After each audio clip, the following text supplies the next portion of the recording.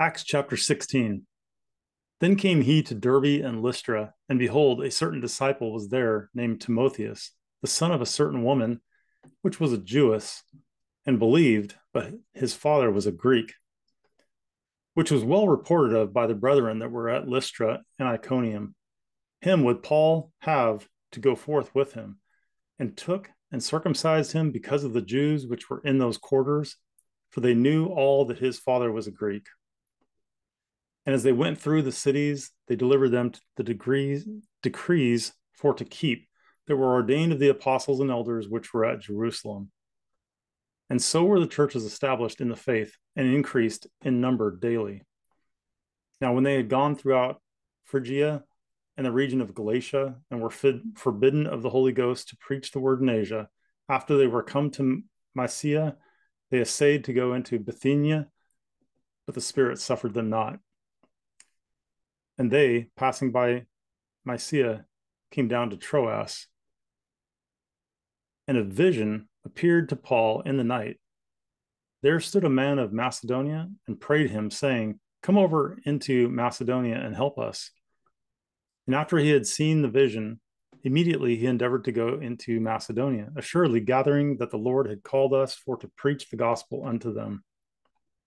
Therefore, loosing from Troas, we came with a straight course to Samothracia, and the next day to Neapolis, and from thence to Philippi, which is the chief city of that part of Macedonia, and a colony. And we were in that city abiding certain days. And on the Sabbath, we went out of the city by a, a riverside where prayer was wont to be made, and we sat down and spake unto the women which resorted thither. And a certain woman named Lydia, a seller of purple, of the city of Thyatira, which worshipped God, heard us whose heart the Lord opened, that she attended unto the things which were spoken of Paul. And when she was baptized and her household, she besought us, saying, If ye have judged me to be faithful to the Lord, come into my house and abide there. And she constrained us. And it came to pass, as we went to prayer, a certain damsel possessed with a spirit of divination met us, which brought her masters much gain by soothsaying.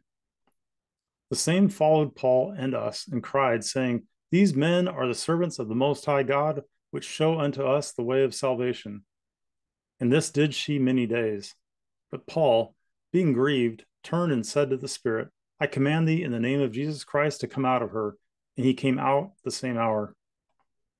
And when her masters saw that the hope of their gains was gone, they caught Paul and Silas and drew them into the marketplace unto the rulers and brought them to the magistrate, saying, These men, being Jews, do exceedingly trouble our city and teach customs which are not lawful for us to receive, neither to observe, being Romans.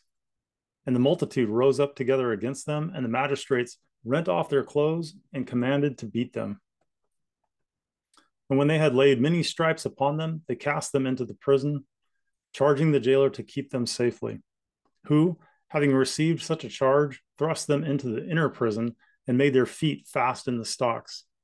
And at midnight, Paul and Silas prayed and sang praises unto God, and the prisoners heard them. And suddenly there was a great earthquake, so that the foundations of the prison were shaken, and immediately all the doors were opened, and everyone's bands were loosed. And the keeper of the prison, awaking out of his sleep and seeing the prison doors open, he drew out his sword and would have killed himself supposing that the prisoners had been fled. But Paul cried with a loud voice, saying, Do thyself no harm, for we are all here. Then he called for a light and sprang in, and came trembling and fell down before Paul and Silas, and brought them out and said, Sirs, what must I do to be saved? And they said, Believe on the Lord Jesus Christ, and thou shalt be saved, and thy house. And they spake unto him the word of the Lord and to all that were in his house. And he took them the same hour of the night and washed their stripes and was baptized, he and all his, straightway. And when he had brought them into his house, he set meat before them and rejoiced, believing in God with all his house. And when it was day, the magistrates sent the sergeants, saying, Let the let those men go. And the keeper of the prison told this saying to Paul, The magistrates have sent to let you go now therefore depart and go in peace. But Paul said unto them, They have beaten us openly, uncondemned, being Romans, and have cast us into prison. And now do they thrust us out privily? Nay, verily, but let them come themselves and fetch us out. And the sergeants told these words unto the magistrates, and they feared when they heard that they were Romans. And they came and besought them and brought them out and desired them to depart out of the city. And they went out of the prison and entered into the house of Lydia. And when they had seen the brethren, they comforted them and departed. Acts chapter 16.